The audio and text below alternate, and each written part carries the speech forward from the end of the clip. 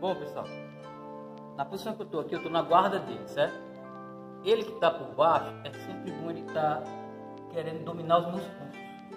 Quem tá por baixo. E eu que tô por cima, sempre tá querendo me livrar da pegada dele, certo? Normalmente os triângulos acontecem, fica puxando meio porque ele tá segurando meus pulsos. Vai jogar o braço para dentro, vai escalar e tal, tal. Então, o que é que eu vou fazer aqui? Eu vou fazer uma técnica de escape, vou passar a guarda dele, vou terminar na, nos 100 kg, eu construir o gatame e vou procurar aplicar uma chave de braço. Tá segurando aqui dois pulsos. Vou sair. A posição que está o meu, meu punho vai usar os pontos para bater na costela dele, certo? Para aliviar Eu passei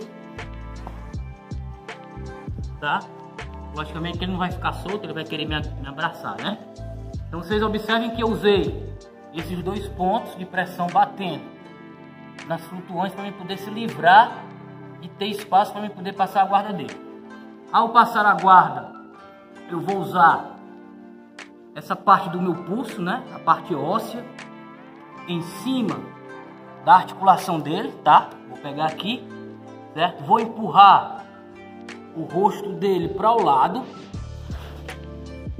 justamente para me ganhar espaço para subir. Vou jogar a perna por cima, esbarrando no braço e aqui eu uma chave de braço. Outro cansete selvagem. Novamente vem rápido. Aí!